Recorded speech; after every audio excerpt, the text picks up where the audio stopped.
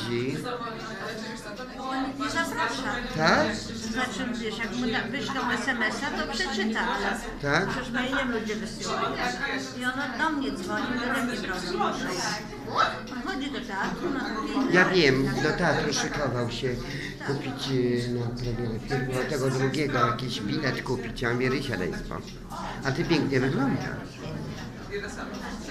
A z kurczaczkiem do ślubu.